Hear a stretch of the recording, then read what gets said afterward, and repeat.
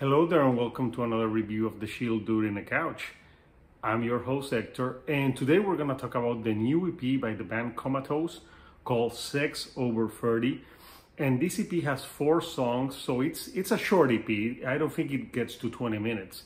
And this is the band's follow-up to No Way Back which was the album that they released last year and for those of you that don't know Comatose is a very they their sound can be described as grunge gaze because it has a lot of like 90s grunge sound mixed with the shoegaze and they're from Minnesota.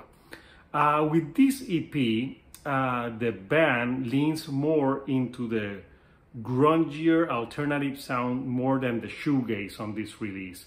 And it only has four songs, but all four songs are great. So the EP starts with the title track, Sex Over 30 and this song starts slower with some guitars and that 90s distortion. Uh, think of bands like Failure, Hum, and Quicksand from the 90s, and that's the type of sound that the band has. And the song is a great starter to the EP. It's like three minutes and 45 uh, seconds, so it's it gets more spacey at times, uh, more dreamy vocals at first, but then more of that alternative rock sound. And it's a great start to the EP. Then they had the song Stuck in the Mud. And this one starts slower with some guitars and a sample from It's a Wonderful Life, which uh, they have that sample at the beginning. Then we get hit with some crunchy guitars, some great bass lines, and a very powerful uh, drumming. And the song in the middle uh, has a great uh, guitar solo, and with the guitar solo, you hear more samples of It's a Wonderful Life mixed into the song.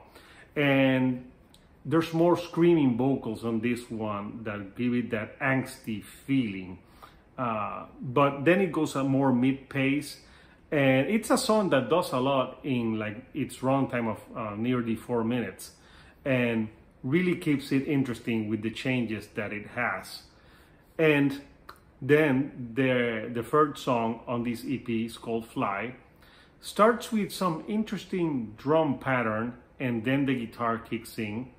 The vocals are more reminiscing of that those emo bands uh, from the beginning of the 2000s with some harsher screaming in some parts. So that song, the the vocals uh, were a little bit different from the songs that followed it, which I thought was very interesting.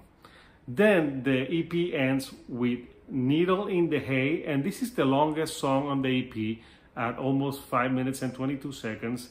And this song starts with some crunchy guitars, and the vocals here reminded me a little bit more of 90s Alice in Chains, especially on some parts in the choruses. Then it goes into, you know, that alternative, more rocking sound.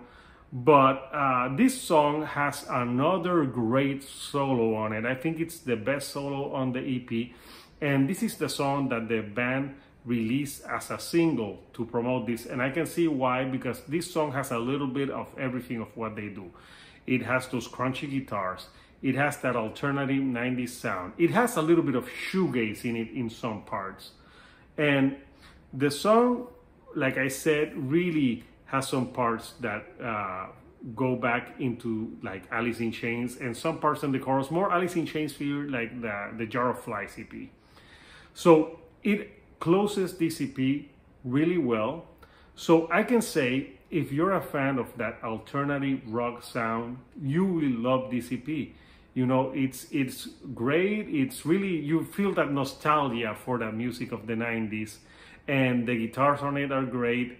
Uh, all four songs are great. The only nitpick I think is like I wish there were more songs, but hey, at least we got four songs from the band. So uh, if you don't know Comatose, uh, listen to this EP that comes out this Friday, and also listen to the No Way Back that was released last year. And it's a band that if you love that 90s alternative rock sound, you will enjoy. So what did you think of this EP? What were your favorite tracks? comment. I would like to know. Give me a like if you like the videos that I'm putting out and don't forget to subscribe. I have more content on the way. So until next time, this is Hector, the Chill Doing in a Couch, and I'll see you right here on the couch. Thank you and good night.